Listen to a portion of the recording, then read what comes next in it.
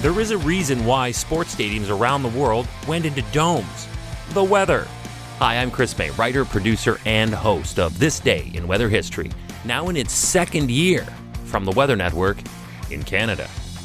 Today we go back to the date of the hottest game ever actually played in Major League Baseball history.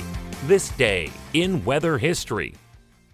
Look, all I can say is this. Around the time of the game we're talking about today, it was actually less than a year away from the opening of Skydome in Toronto. Downtown Toronto was a mess with construction, and the Jays were thrilled that canceled games, fog, rain, and double headers were finally behind them. Take that, weather! Ha ha ha ha! We beat you! While the weather had one last trick up its sleeve extreme heat. Over the years, as the climate normals have continued to creep up, there have been fewer and fewer day games because in certain places it's just too hot and it's not safe for fans. As a result, today we have gorgeous retractable dome stadiums in Phoenix, Arizona, as well as Houston and Arlington, Texas. Now I gotta believe that a call from Arlington went back to Toronto and it went went a little bit like this. Uh, hey guys, yeah, yeah, it's me. We're in Arlington. Listen, two words air conditioning. In the late 80s, they didn't have the space age, breathable, wick-away, futuristic fabrics that we have today. It was a very dense, unbreathable, keep all the moisture in kind of polyester. And oh, yeah, also at this time, most teams were still sporting those ridiculous pajama style pullover jerseys that also had no buttons and therefore no possible escape for the oppressive heat building up inside the uniform. This was especially hard on the Texas Rangers because they still had the onesie at this time. Now consider that the three hottest games on record for MLB all occurred when the Texas Rangers were hosting. The worst of the three hottest temperature games on record was when the Toronto Blue Jays came to Arlington, Texas for a night game, and at the 7:39 p.m. opening pitch, the temperature was a disgusting 109 degrees Fahrenheit, 43 degrees Celsius. I repeat, during a night game. The next day's box score read like this Time of game, 2 hours, 41 minutes.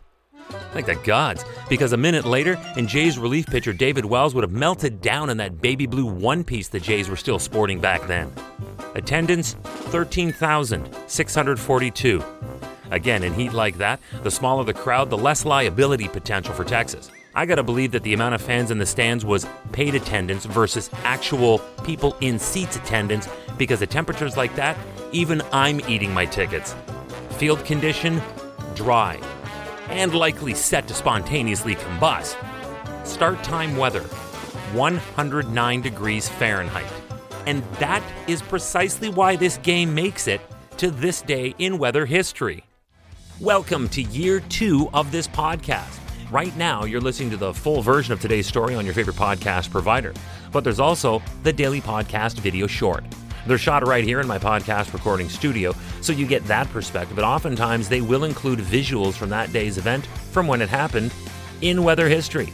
So after listening to the full story, go check out the podcast video short on television or online anytime at theweathernetwork.com forward slash weather history.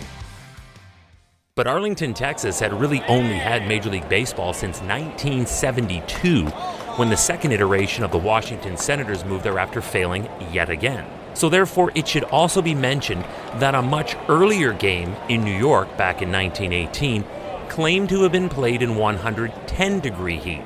However, if one scans the modern data on hottest days in New York City, one will find that the record high in the Big Apple stands at only 106 degrees Fahrenheit. Something tells me that figure was posted by some unscrupulous bookie who was perhaps looking to make the big score for betting on game time temperature.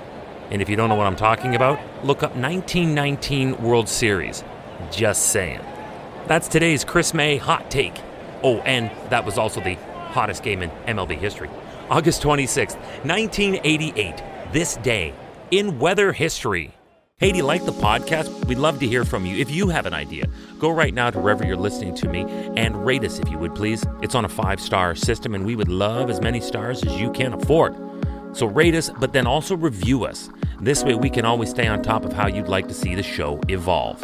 Then remember to subscribe to this podcast. Click the subscribe or follow button right there on the very same podcast homepage you're listening on.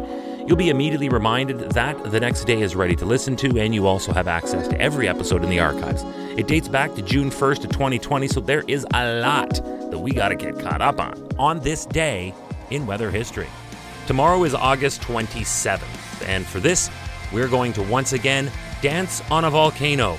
But this time, we do not have to go back as far as Mount Vesuvius. We are, however, going back 105 years from today's episode to 1883, and one of the most violent eruptions in recent human history, Krakatoa. This day in weather history with me, your host, Chris May.